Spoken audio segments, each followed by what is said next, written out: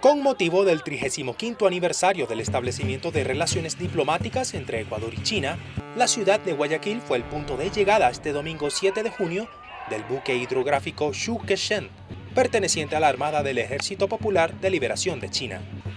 En el marco de una visita de buena voluntad de cinco días, el navío fue recibido por autoridades de la Marina ecuatoriana, personal de la Embajada China y moradores del lugar.